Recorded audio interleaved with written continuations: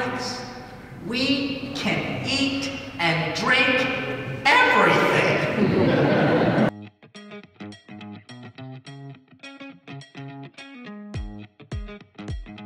always ate together as a family, and that's why trying to encourage families to return to the practice of eating together because it is a lost cause almost. God's got a plan about food, and we just have to understand it. And then it really points more than anything to the Eucharist, the fact that Jesus becomes food.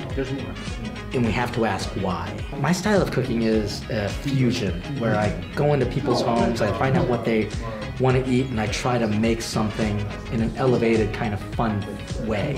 But who doesn't like some pasta? Who doesn't like a steak, you know? But I think my my favorite kind of food is is fusion, where I just kind of throw some things together and pray that it comes out.